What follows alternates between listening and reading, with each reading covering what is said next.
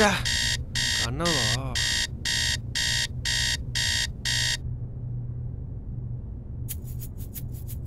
என் பேர் ராகவன்.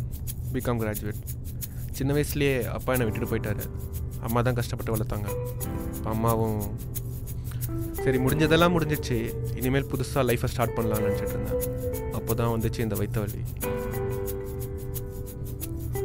நான் கூட ஏதோ சின்ன ப்ராப்ளம் தான் நினச்சி விட்டுட்டேன். போக போக தான் வலி கொஞ்சம் ஜாஸ்தி ஆயிடுச்சு. டாக்டர்கிட்ட கேட்டதுக்கு அவர் சொன்னார் I'm very sorry mister Raghavan. உங்களுக்கு ஸ்டேஜ் ஃபோர் ஸ்டொமக் கேன்சர் நீங்கள் எவ்வளோ சீக்கிரம் வந்து அட்மிட் ஆகிறீங்களோ அவ்வளோ நல்லது. பிகாஸ் இனிமேல் நீங்கள் தனியாக இருக்கிறது உங்களுக்கு சேஃப் கிடையாது.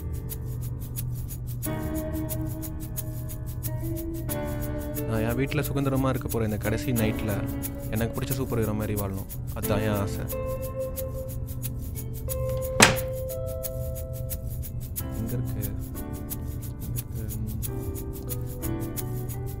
இங்கே இருக்கு.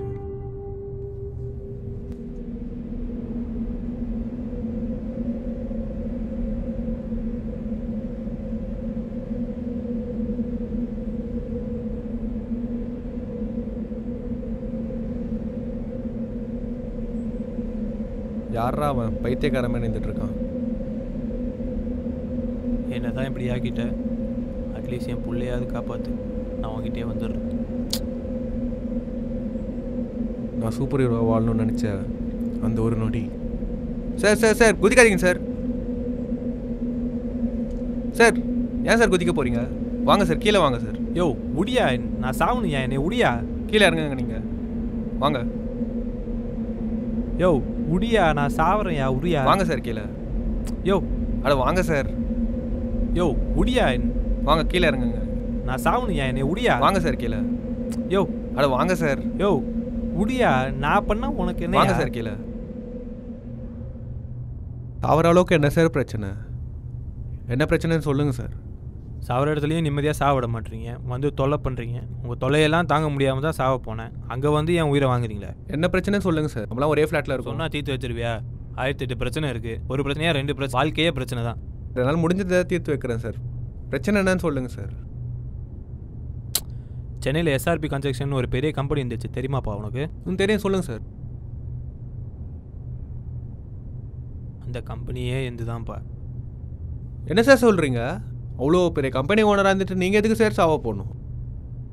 கூட இருந்த பார்ட்னர்ஸ் நாலு பேரும் கம்பெனி ஏமாற்றி பிடிங்கிட்டாங்கப்பா. கோர்ட்டு கேஸுன்னு அலைஞ்சு கையில் இருக்க பணமெல்லாம் வீணாக போச்சு. அடுத்த வேலை சோத்துக்கு கூட வழி இல்லாமல் நின்றுட்டுருக்கேன் நான் எப்படி வேணால் வாழ்வேன். ரோட்டில் படுப்பேன் எங்கேயாவது சாப்பிடுவேன் எப்படி வேணால் பொழைச்சிப்பேன். ஆனால் என் குழந்தை எழுந்திரிச்சு பசிக்குது ஏதாவது வாங்கி கொடுங்கன்னு சொன்னால் கூட கையில் பணம் இல்லாமல் நிர்கதியாக நிற்கிறேன்ப்பா இதான் பிரச்சனையா? நான் கூட வேறு எதுவும் நினச்சி பயந்துட்டேன் சார். பணம் இன்னைக்கு வரும் நாளைக்கு போவோம் சார். உயிர் போனால் வருமா? உயிர் இருந்தால் எவ்வளோ சம்பாதிக்கலாம். என்ன வேணாலும் சம்பாதிக்கலாம். சார் வாங்க சார். வந்து உட்காருங்க சார். வாங்க. உட்கார வாங்க. என்ன சார் சைலண்ட்டாகவே இருக்கீங்க? நான் சொல்கிறது எதாவது மண்டையில் ஏறுதா? யோ உனக்கு என்ன தெரியும் வாழ்க்கையை பற்றி வழினா என்னன்னு தெரியுமா? அடுத்த வேலை சோத்துக்கு கஷ்டப்பட்டிருக்கியா? பிரச்சனையை தான் ஃபேஸ் பண்ணியிருக்கியா? கூட இந்த நாலு பேர் உன்னை விட்டு போயிருக்காங்களா? யாருமே இல்லாமல் தனியாக நின்றுருக்கியா? வாழ்க்கை என்னன்னு தெரியுமா உனக்கு? வழினா என்னன்னு தெரியுமா உனக்கு? பெருசாக பேச வந்துட்டான்.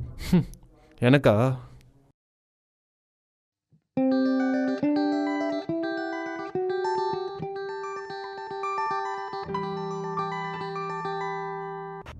எப்படி பார்த்தாலும் இன்னும் கொஞ்ச நாள் தான் இருப்பேன் டாக்டர் சொல்லிட்டாரு.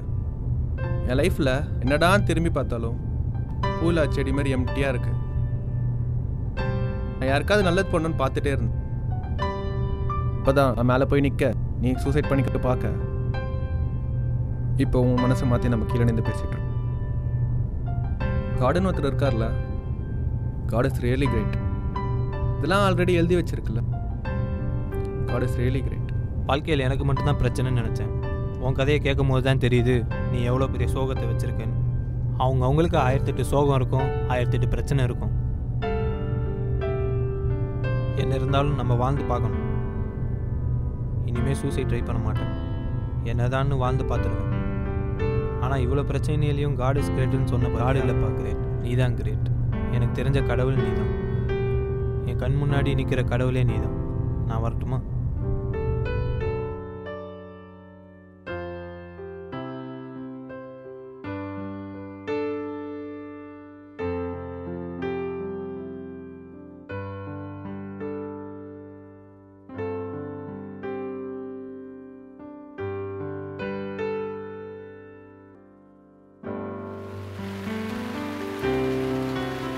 நான் வீட்டில் இருக்க போகிற இந்த கடைசி நைட்டில் எனக்கு பிடிச்ச சூப்பர்மேன் மாதிரி நான் வாழ்ந்துட்டேன்.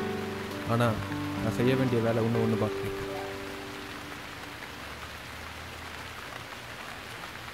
அப்பா பாய் நான் ஸ்கூலுக்கு போய் தரேன்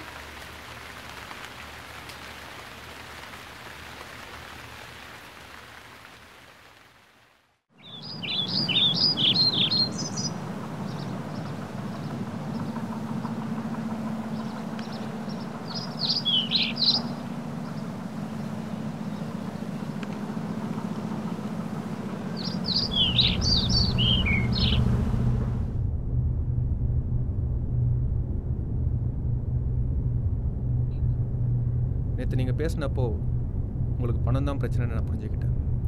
அதான் எனக்கு அப்புறம் என்னோடய பேங்க் பேலன்ஸ் என்னோடய இன்சூரன்ஸ் ப்ராப்பர்ட்டிஸ் எல்லாத்துக்கும் உங்களை லீகல் சக்ஸஸராக போட்டுட்டேன்.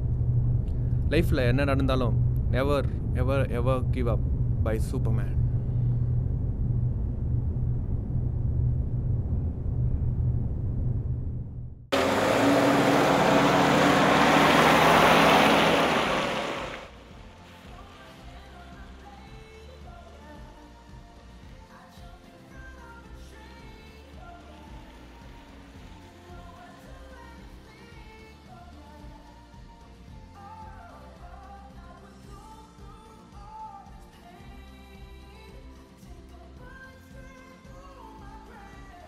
Mugil என்ன பண்ற?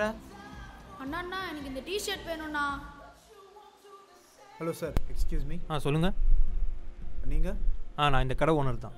இந்த டிஷர்ட் ஸ்மால் சைஸில் கிடைக்குமா?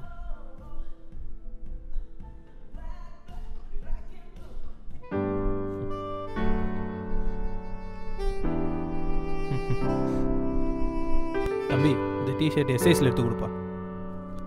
பொதுவாக படங்களில் சித்தரிக்கப்படுற மாதிரி சூப்பர் ஹீரோஸ் ஃபேன்சியாக காஸ்டியூம்ஸ் போட்டு வரது கிடையாது. சூப்பர் ஹீரோஸ் மனிதர்களுக்கு மத்தியில் தான் வாழறாங்க. நம்ம வாழற விதம் தான் நம்மளை ஒரு காமன் மேனா இல்லை ஒரு சூப்பர் மேனா அப்படிங்கிறது முடிவு பண்ணும்